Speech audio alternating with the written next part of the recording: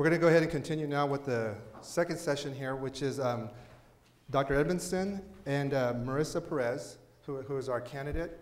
Um, we're going to go ahead and start off with the same questions here. So this is a faculty-generated question here. So I'm going to go ahead and read it again, so bear with me.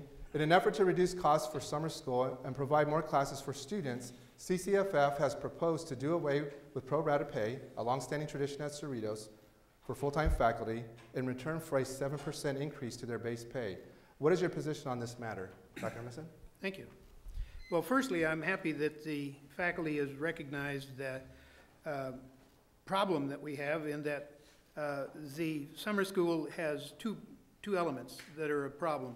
One, that it costs more than other cl classes to offer, and it's of a small size. So when we're cutting, as we must, a certain percentage of what we do, it becomes a happy target and easy to do. It's unfortunate. We could cut uh, fall and spring classes and have summer classes. That would be a, a balanced way of doing it. But the fact that it costs more from the way it has been done, a happy anachronism of uh, this pro rata pay, makes it too costly, makes it too attractive to cut the summer. If we can balance, reduce the cost of summer, that's a negotiated item, uh, the uh, faculty are working toward uh, making an offer that's a, a fair one to start the proposal. They recognize that the summer is too costly to offer, so we have not offered it. Uh, if the solution can be that somebody can figure out the cost to be uh, fair across the board, summer would be offered. It's just that it's cost too much and is too easy a target. Uh, in the but our budget, do you want me to go on to part two? Well, we're just going to do this first, All right. first question here. Uh, anyway, it's a, it's a happy anachronism. It's the size that makes uh, sac, uh, the summer school an attractive uh, target. The fact that it costs too much uh, to offer. And so those problems solved, summer would probably be offered. Thank you. Um, Ms. Perez? Thank you, everybody. My name is Marisa Perez, and I'm a candidate for Cerritos College, trustee area number four. I would like to first thank the Faculty Federation and the students of Cerritos College for hosting today's forum. I would also like to thank each of you for taking your time to be here today. I am a Lakewood resident, and my children attend public schools in Bellflower School District. I understand the value of a quality public education.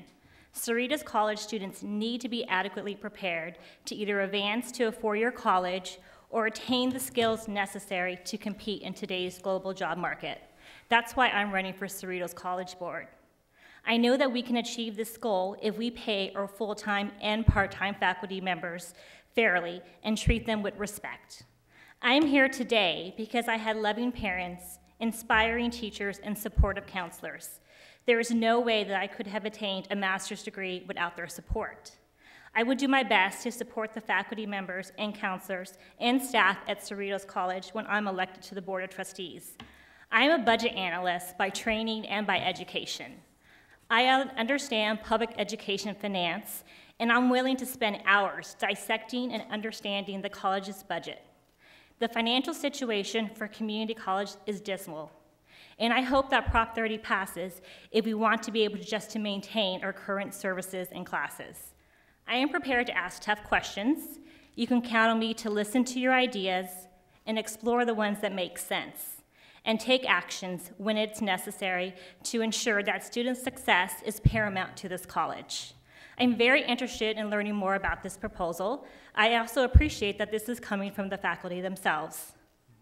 I would like to understand the cost of this proposal and how it will impact the college's salary and benefits expenditures. I want to preserve summer school for students, and I will explore all alternatives to ensure that this occurs. Thank you. Thank you, Mrs. Perez. We're going to go ahead and go on to the next question here, which is a two-part question. I'm going to go ahead and read it in its entirety, and then we'll go ahead and proceed. Mrs. Perez, you'll be responding first. Okay.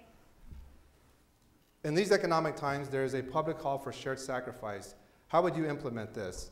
Part B, how will you boost the morale of part-time faculty who teach a significant portion of our students, whose pay scales are the lowest in the state, whose office hours are uncompensated, and who receive neither benefits nor job security? Go ahead. Thank you again. Shared sacrifice means that everyone on the campus is responsible for a share of the savings and the cuts. If there is no pay increase for one group of employees, then there shouldn't be a pay increase for anyone on campus. If there are cuts in benefits, then everyone should have their benefits cut as well. As a former City of Los Angeles employee, I was first subject to voluntary furlough days. By the time I left the city four years later, I was taking 26 furlough days a year. However, I hope we don't get to this point here at Cerritos College. In regards to the implementation of shared sacrifice, I will lead by example and take a comparable cut to the trustee stipend and any benefits that may be offered to show solidarity with our administrators, faculty, staff, and students. I don't know what the board stipend is here, but I do know that I plan to invest it back into the communities that Cerritos College serves. I plan to donate my stipend back to the college's foundation, the K-12 schools in my district, and chambers of commerces and businesses that will support internships for our students here at Cerritos College. In regards to part-time faculty, I will do my best to boost their morale. I know that part-time faculty members have taken a brunt of the cost savings here at Cerritos College. The state budget is bad, and I don't see it improving overnight. Longer term, I am interested in addressing our part-time faculty members' concerns. We are considering a $350 million Cerritos College school bond in November. I hope that we can address the shortage of offices and meeting space for our part-time faculty members as part of this bond.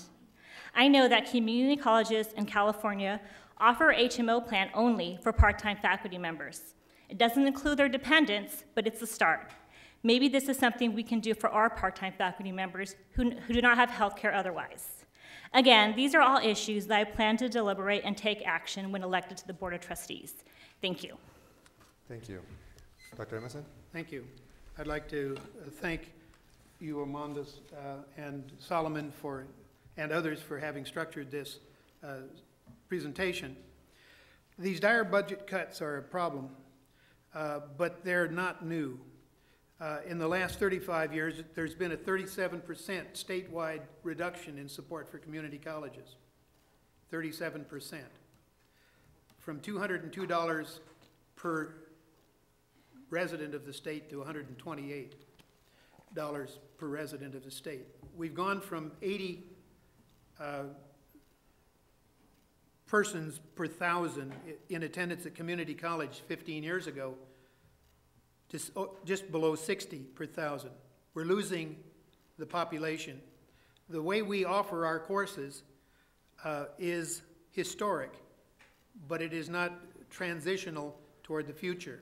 And so I have been advocating for 20 years here at the college that we evolve into delivering our services in some other fashion. I support what we do. The board operates as a policy governance process. We don't get into the detail of how things are done. Uh, we try to give direction to administration and the supportive faculty staff decision-making system. Uh, the decisions of faculty in uh, negotiating and pay, the negotiating with the staff is done collegially. Uh, it's all a matter of balance. We have certain amount of money, the state gives us some, we have to distribute it fairly to all to accomplish the end. Uh, it's not that we don't love people uh, because we don't pay them well we, or give them office hours. It's a matter of there isn't enough to go around to do those tasks. Uh, it's a policy governance issue, and uh, we'll do what we can to make it balance, but it's a matter of balance. Thank you. Thank you, Dr. Emerson. We're transitioning now to the questions generated by students. Um, Dr. Edmiston, you're going to go first on this. So let me just go ahead and read the question here. As Yeah. students, we are concerned about increasing unit costs, rising book prices, and fewer classes offered by the college. What is your plan to address these issues? Well, the first is to recognize what it is. Increasing unit cost. Uh, it's thought that it is um, money that is raised to give back to the college, and it, it isn't. The state gives us an absolute amount. The state takes as a, as a tax what you guys call tuition. Uh, they raise the money. The money goes to the state coffer. They only give us what they give us. They can raise it or lower it. The old traditional idea of a tuition was that it was a part of what supported the college, and it really isn't the way the state of California does it. It's one of those mysterious things that the legislature has done to us. So unit cost is unit cost. It's increasing. It's part of what you bear. You think the cost of education is high. Try not having one. It's a great investment on your part. It's a great investment on the state. We once did an analysis here. For every dollar invested in your education, the cost to the state is reduced 20% return for the next, for the remainder of your lives. It's a great investment in education for the state. Imagine what it is for you. The uh, fewer class offerings, that's the balance that the state gives us money to support. If we could do it cheaper, we would, we'd give more classes, but the cost of classes, particularly the way we do them, is what it is. Uh, I'm sorry that we can't offer more classes. The other part of the problem is that once you've had the classes here and try to go to the university, uh, they have the same problem. So you'll have continually up the chain uh, the problem of ed, uh, availability. Study hard, they take the ones with the best grades. Um, the other part of the problem that fascinates me the most is the cost of books. Uh, I've been for 50 years advocating that there be virtual textbooks. And uh, 20 years here at the college, speaking of it, it's now coming. I'm wanting to live long enough to see it occur um, and participate in it. Uh, if you guys have some ideas about how to work this, there's great fortune to be made. Social fortune, not physical fortune.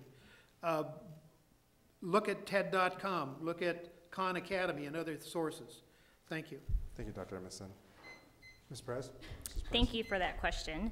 And 20 years ago, I started college. I was able to pay for college through a combination of scholarships, grants, working during summers, working full time during college, and help from my parents. I was very lucky. Community college fees have increased more than 150% in the last 10 years. Students are faced with fewer classes, higher enrollment fees, and less financial aid. Many have to choose between working to support their families or attending college. This is unacceptable. If Southern California is going to thrive, we need to invest more in public education. We need to increase student transfer rates to four-year universities and provide expanded opportunities for students to acquire the necessary skills to either compete or re-enter today's global workforce. To help achieve this goal, I would like to work with faculty, staff, students, businesses, and community members to establish a Cerritos Promise program. This will be modeled after the successful Long Beach City College Long Beach Promise. This scholarship program provides graduating high school seniors in Long Beach the opportunity to attend LBCC the first semester tuition free. And the best part about it, taxpayer dollars were not used for it. Their foundation fundraised $6.5 million to fund an endowment for this program, from smaller individual corporation donations to large corporate donations. We could offer this to our seniors in the ABC, Bellflower, Downey, and Norwalk La Mirada school districts. I know probably won't help all the college students who are here already, but may help your younger brother or sister or a family member. We can do this at Cerritos College too if we all work together. In regards to textbooks, I believe we should increase our use of technology to reduce the textbook costs for our students. The typical college undergrad will pay more than $1,600 for textbooks for two semesters. Our lawmakers in Sacramento sent Governor Brown a package of bills that will allow faculty members to choose free online textbooks instead of printed publication, saving college students hundreds of dollars. If you prefer a hard copy, you could even purchase a printed version for around $20, or you can have it downloaded right to your iPad that I see in the front row. These are examples of two new ideas that I think we should consider here at Cerritos College. I welcome active participation from our faculty, counselors, and staff to see how these programs can benefit our students. Thank you. Thank you, Mrs. Perez. Our last question here, generated by students. Um, Mrs. Perez, you're going to go ahead and begin with this question as well. Uh, many of the students at Cerritos College lack, lack basic skills. They need academic guidance and traditional classroom instruction as opposed to computer-aided instruction. At the same time, in this physical crisis, the increasing number of students are unable to transfer to four-year university to a four-year university due to section cuts. How do you ensure an open access community college stay true to its mission? Thank you again. Um, in my earlier response, I mentioned the Long Beach Promise. In addition to free enrollment fees for the first semester, it also includes guaranteed admission to Cal State Long Beach after students fulfill certain requirements. Right now, this is for non-impacted programs at Long Beach State, but they hope to change this to all programs in the future. We need to be innovative and work with our partners in K through 12 as well as higher education to better prepare our students for success in college and afterwards. Completing assessment, orientation, and counseling for students before enrollment is a good step in the right direction, and I do think we can do more. When students complete the required classes for transfer, we need to provide a local guarantee to students seeking access to our state university system. Not only will this help students achieve their educational goals, but it will also free up classes here for others at Cerritos College. Again, I look forward to working on these ideas when elected to the college board. Thank you very much for your time, and I appreciate everyone being here today. Thank you. Well, what we have is uh, a population that is not taking education from the high schools very well. Their traditional uh, hope to graduate uh, is decreasing from, graduate from high school. They don't learn the skills there, then they bring their lack of skills here. It's our job to uh, repair that loss. A third of our work is doing that. There has to be some other way of doing that. Uh, The college is not doing the college work when it's doing the, the uh, basic skills work. Uh, The question asks, as opposed to computer-aided instruction uh, classroom, and there is no opposition there. They're, they're additive, one to another.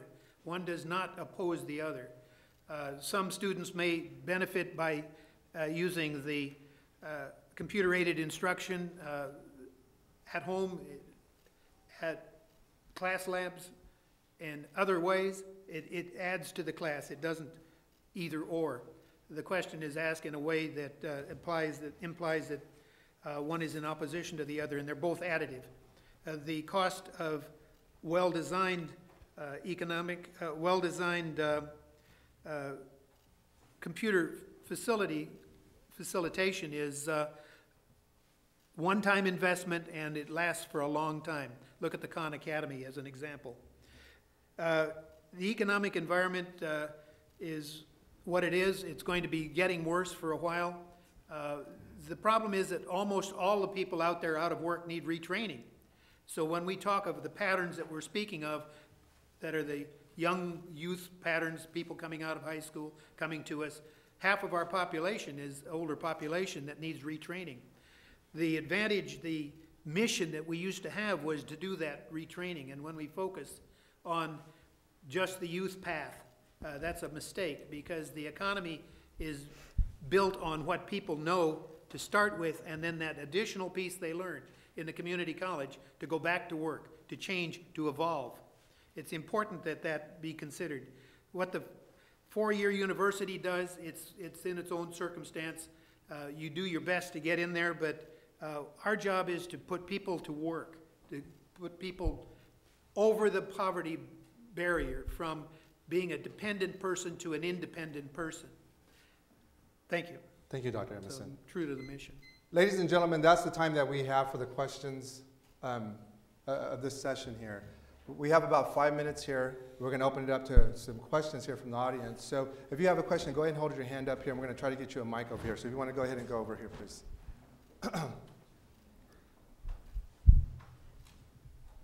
Hello. Um, I just want to ask how much money does the Cerritos College have? Seventy-five million? About seventy-five million a year, Okay, seventy-eight? Why, why is, why is there not enough money to go around, like for summer and also for staff? You want to, want to, I'll- I'll, Sure. I'll take a whack. Okay, I'll, after you. 80, uh, a well-functioning community college, 85% of its cost goes to staff. Ours is running at 93, 92%. Uh, There isn't money. Uh, The labor cost of delivery and services is what it is, uh, the largest portion. Um, There is just there is what we offer, and that's what we have. Uh, If we had more money, we'd offer more, certainly. By having been cut back uh, from 91 million, I think it was a few years ago, uh, we've had to cut back, what, a thousand class offerings, thousand classes? Uh, It's just a matter of balance. You have have what you have, and you do what you can with it. Just to Does answer. that answer your question? To follow up to, to answer as well too, we receive, community colleges across the state get a state apportionment. And it's basically a set amount that the state gives to each community colleges. So as a result, as you know, we're in an economic recession, so taxes overall have been a lot slower, not just for the state, but for local governments as well. So as a result, there's been less money that's coming to community colleges. And um, as with pretty much any you know, public institution, the major costs are salaries and benefits. Because again, you have to pay those first before you can do everything else and stuff. Each one of the employee groups here has a contract that's negotiated with their, with their members and with the administrators, and each, if it's three years, two years, however, men- however long their contract up, that's what it includes. It includes what their pay salary is, as well as what their benefits are gonna be. Also, their retirement costs, um, their healthcare costs, so that's all included. So when you have, you know, seventy-five million dollars as a college budget, and probably, I don't know the exact percentage, but it's usually between 75 and 80 percent goes straight to salaries before they can do anything else. So again, um, Prop 30, which is on the November ballot, that's hoping to address some of this. It's not actually going to create additional revenue for community colleges, but it's going to help us get back to where we used to be. So take a look at that. You know, be informed about it. That's again, your that's your your right as a citizen here to be a voter and to be educated about important issues that impact you as a college student. Thank you. Another question? Uh, Thank you. Raul Samaniego, again, Talon Marks. I am tasked with asking the difficult question. Uh, With the recent success of the U.S. Olympic women's team uh, in London this year, a lot of people have attested that to the success of the Title IX program here in the United States. Um, As an alumni of Long Beach State and now currently attending Cal State Fullerton, both schools eliminated very difficult choice, their men's football program.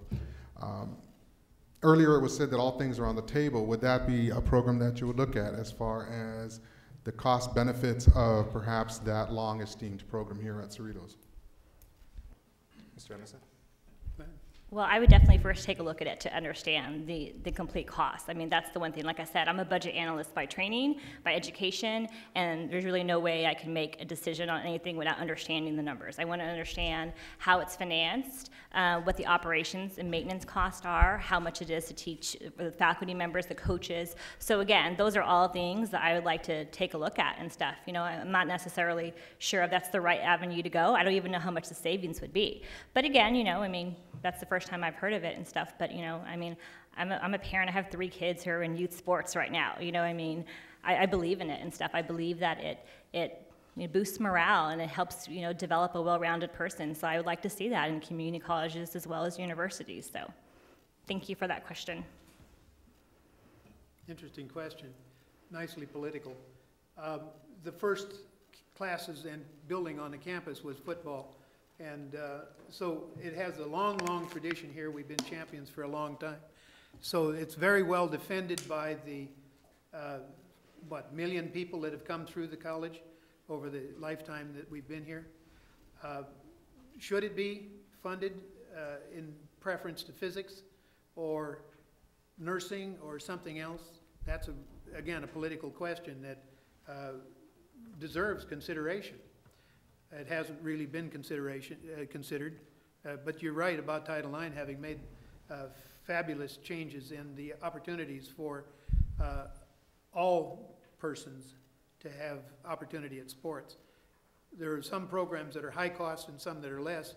The tendency in our business is to look at the high-cost programs and cut them, because uh, that is easy. For example, in automotive technology in many of the high schools, they've taken it out because it's a high-cost program, and there's no defender for it. Uh, The academics are interested in English and math and history and so on, and what's that technology stuff got to offer? They don't fairly share uh, an authority uh, to have a balance. community college recognizes that there's a balance. You are coming back to the community college for skills that you already have earned at other schools, but you need something that we offer. And the part that we're not doing very well uh, is defending those unique skills that you can come back and learn here, that one piece that you need for the next job. And that's what we have been good at when we say we're defending our mission. I don't think we are very well when we're not defending those particular little pieces.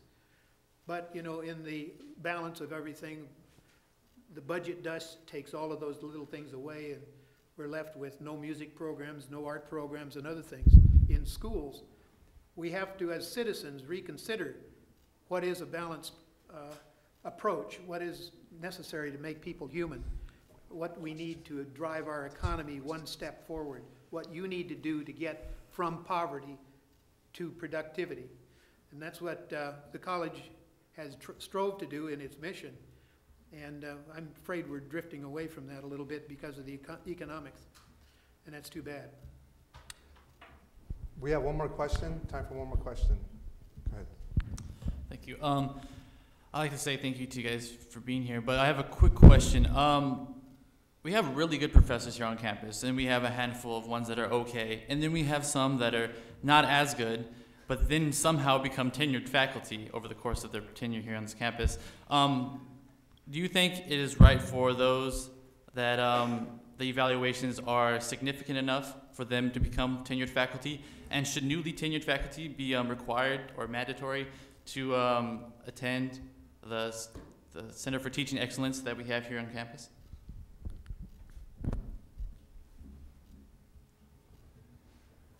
Mine Wants to go first, or?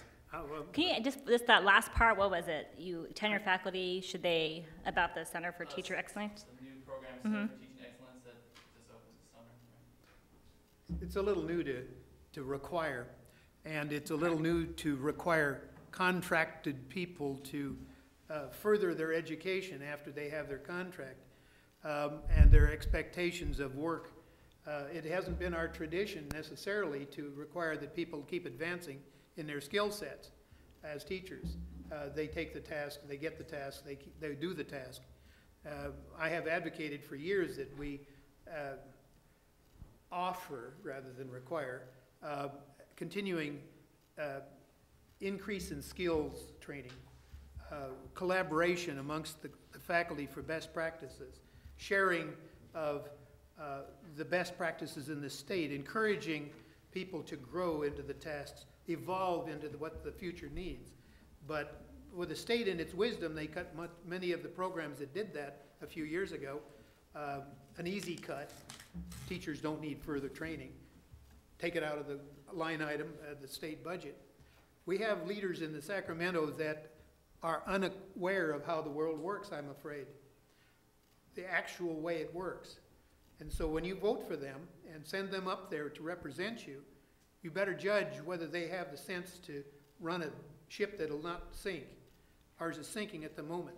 So you're, you're challenged to put people in task who have a sense of what's going on and how to keep it going. Thank you.